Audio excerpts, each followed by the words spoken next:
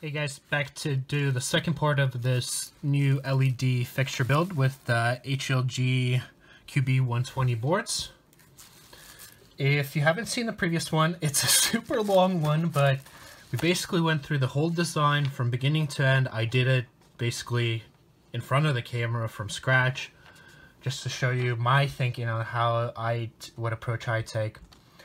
And uh, basically the conclusion we came to there is that we need to be 18 inch in between board centers. So between this point on this board and the same point on the board next to it.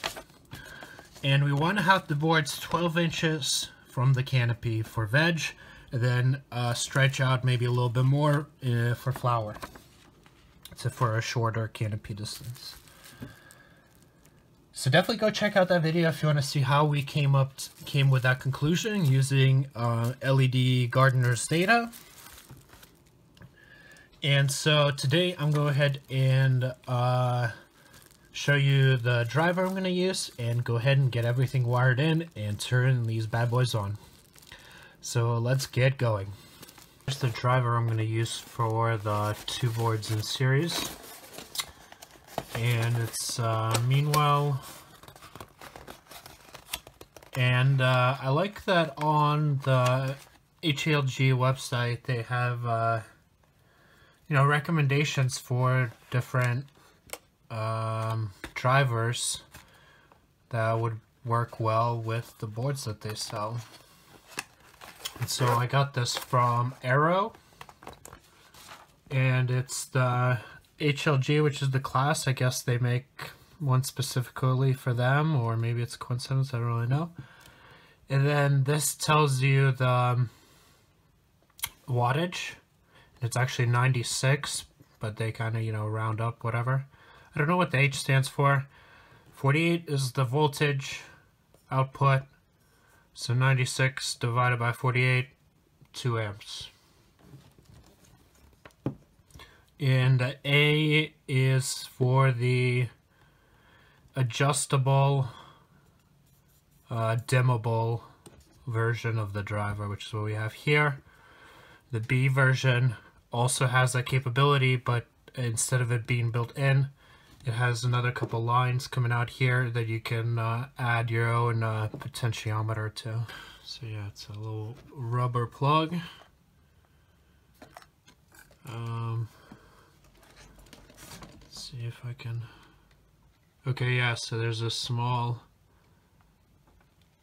Phillips head screw in there. And that's how you adjust it. Pretty much all wired in. So what we got here is, you can see on the Meanwell driver, it tells you what the different input colors are closer. So green, yellow is the ground. Brown is the line, so the hot.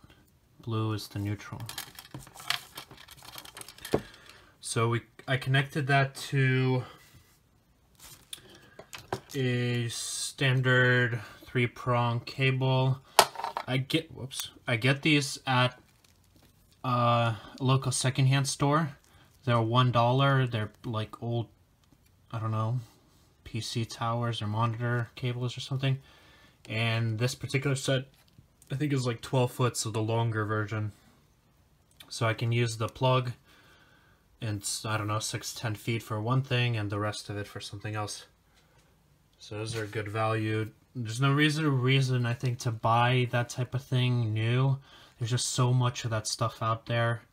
Um, it shouldn't be any problem to find it secondhand and still be perfectly fine.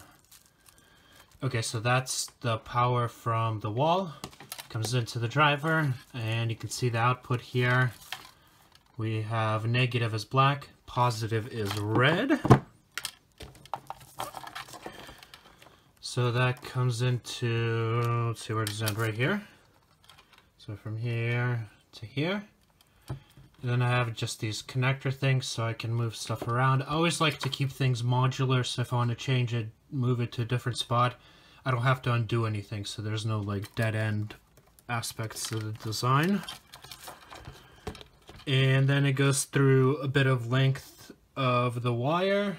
Again, I'm going to keep this outside of the tent. And so I need extra length here. And then finally it comes into here. And then I'm just using the wire that they supplied. And so the way you want to hook it up... Oh, by the way, when I was working on these, I was just keeping them still in these uh, bubble wrap sleeves. And I just cut out a little section here so I could work on the other side. That's probably a good way to store them as well. But I'm going to just go ahead and take this off. So it doesn't matter which side's which, how you twist these around, which side the name is on. As long as you follow a simple rule, you're pretty much going to always get this right. And that is for when you're wiring devices in series, you want the polarity to alternate between, you know, two points basically. So starting from the driver to the first board, the polarity will be the same. So you match the polarity from the driver, but within the devices, the polarity is opposite. I don't know if that's kind of confusing, but basically let's just do it.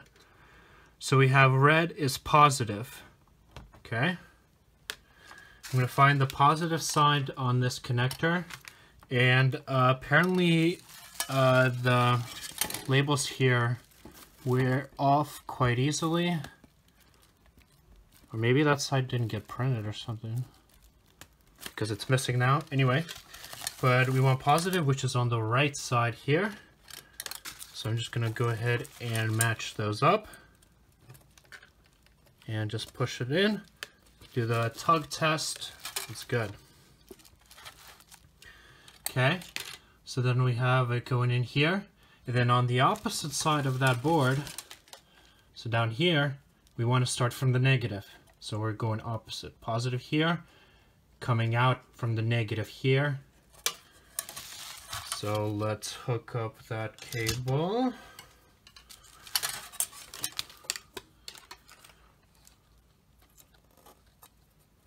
Okay.